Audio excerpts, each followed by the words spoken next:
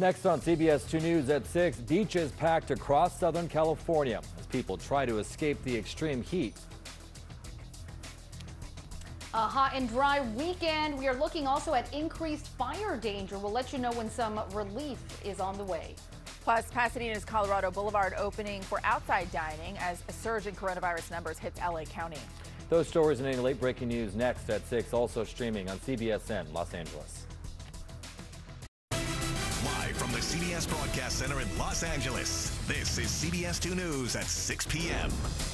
A dangerous heat wave has been sweeping across the Southland, and that means that people are flocking to our local beaches trying to beat the heat. But are they staying far enough apart? This is how it looked earlier in Santa Monica.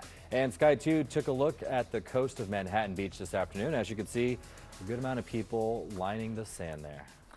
Soaring heat means packed beaches throughout SoCal. Yeah, that's a big concern for city and county leaders, worried those crowds could lead to even higher cases of coronavirus. CBS 2's Greg Mills shows us the crowds in Santa Monica. Thanks for watching CBS 2 News at 6. Remember, we're always on at CBSLA.com. And if you see news happening, share your ideas, photos, and video by using the hashtag CBSLA.